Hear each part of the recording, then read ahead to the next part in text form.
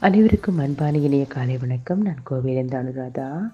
சாய் சரித்திரத்தின் இருபத்தி ஒன்பதாம் பகுதியினை இப்போது காண்போமா? நம்ம ஸ்ரீ மகான் சத்குரு ஷீரடி சாய்பாபா அவர்களின் கதைகள் அவரின் ரீலைகள் எல்லாம் பார்த்துக்கிட்டு வரோம். இதில் முக்கியமான ஒரு விஷயம் பக்தர்கள் எல்லோருக்கும் தெரிய வேண்டியது என்ன அப்படின்னா அவர் ஷீரடியில் வாழ்ந்துட்டு இருக்கும் பொழுது இந்த கஃப்னி ரெகுலராக போட இருந்தார் இல்லையா? அப்போது அவருக்கு முகடின் தம்போலி அப்படிங்கிற ஒருத்தர் வந்து பழக்கத்துக்கு வராரு. இந்த முகடின் தம்போலிக்கும் பாபாவுக்கும் நிறைய வித்தியாச வித்தியாசம் உண்டு. வாக்குவாதங்கள் நிறைய உண்டு. இவர் சொல்கிற விஷயத்தை அவர் ஒத்துக்க மாட்டார் அவர் சொல்கிற விஷயத்தை இவர் ஒத்துக்க மாட்டார். எப்போ பார்த்தாலும் ஒரு வாக்குவாதம் வந்துட்டே இருக்கும். இந்த வாக்குவாதம் வரும்பொழுது இந்த முகலன் தம்போலியும் பாபாவும் ஒரு உடன்படிக்கைக்கு வராங்க. என்ன அப்படின்னா இந்த முகலின் தம்போலி என்ன சொல்கிறாருன்னா நம்ம ஒரு மல்யுத்த சண்டையில் இறங்குவோம். அந்த மல்யுத்தத்தில் வந்து நம்ம இறங்கி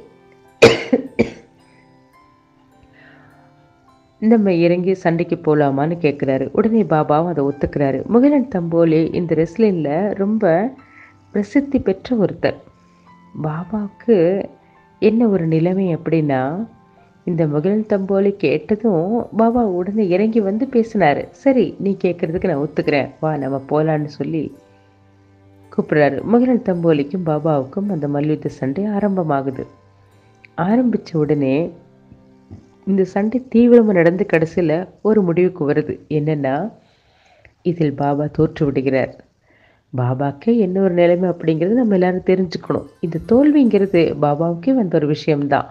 அப்போ சாதாரண மனிதராகிய நமக்கெல்லாம் இது வந்தாதான் நம்ம பக்குவம் வாழ்க்கையில் ஒரு பக்குவம் நம்ம அடைவோம் அப்படிங்கிறத தெரிஞ்சுக்கணும். இந்த முகிலன் தம்போலிக்கும் பாபாவுக்கும் நடந்த இந்த சண்டையில் பாபா தோற்று போனவனும் பாபா என்ன நினச்சாருன்னா இனிமேல் எனக்கு எதுவுமே வேண்டாம். நான் ஒரு கஃப்னி மட்டும்தான் போட்டுக்குவேன்னு சொல்லி அன்னையிலேருந்து பாபா மகா சமாதி அடையிற வரைக்கும் பாபா வெறும் கஃப்னி மட்டுமே போட்டுட்டு இருந்தார்.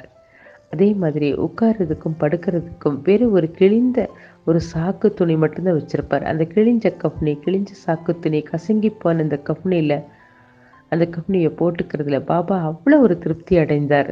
பாபா என்ன சொல்லுவார் அப்படின்னா கடவுள் வந்து இந்த ஏழைக்கு நிரந்தரமான ஒரு சொந்தமாக இருப்பார் அப்படின்னு சொல்லி கூட இருக்கிற பக்தர்கள் எல்லாத்திட்டையும் சொல்லுவாராம்.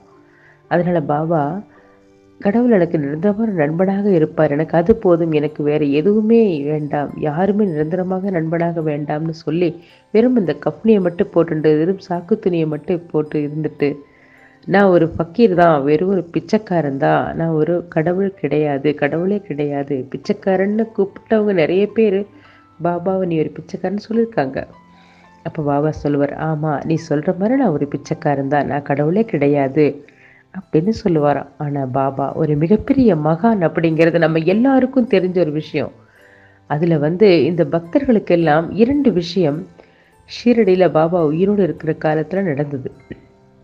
அந்த இரண்டு விஷயம் அடிக்கடி பக்தர்கள் எல்லாம் பார்க்கும் பொழுது அவங்க மிரண்டு போயிடுவாங்க அந்த ரெண்டு விஷயத்தை பார்த்து. அந்த ரெண்டு விஷயம் அவர் ஒரு பெரிய மகான் அப்படிங்கிறது நமக்கு தெளிவாக உணர்த்தும்.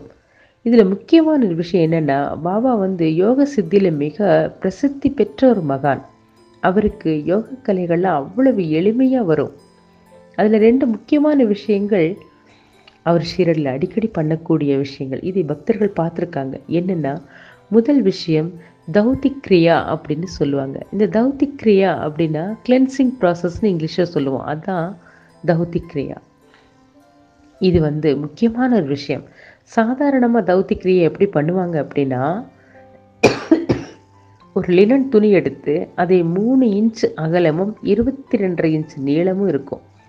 அந்த துணியை எடுத்து நினச்சி தொண்டைக்குள்ளே விட்டால் தொண்டையிலேருந்து அப்படியே வயிற்றுக்குள்ளே விட்டு வயிற்றுக்குள்ளே வந்து அரை மணி நேரம் வயிற்று ரியாக்ஷன் ஆகி அதை அப்படி வெளியில் எடுப்பாளாம். அது வந்து வயிற்றில் இருக்கக்கூடிய கெட்ட அழுக்கெல்லாம் அது ரியாக்ட் பண்ணி எடுத்து அந்த துணியில் விட்டு எடுக்கும் பொழுது வரும். இதுதான் சாதாரணமான தௌத்திக்கிரியா ப்ராசஸ் ஆனால் இதை பாபா வந்து எப்படி வித்தியாசமாக பண்ணினார் அப்படிங்கிறத நிறைய பேர் பார்த்துருக்காங்க. மிராக்கிள்ஸ் அற்புதங்கள் தொடரும் உறவுகளை நாளை மீண்டும் சந்திப்போம். இது எப்படி அவர் செய்தார் அப்படிங்கிறத கண்டிப்பாக நாளைக்கு நம்ம தெரிஞ்சுக்க போகிறோம் அதுவரை காத்திருப்போம். ஜெய் சாய்ராம். வாழ்க வளமுடன். அன்புடன்.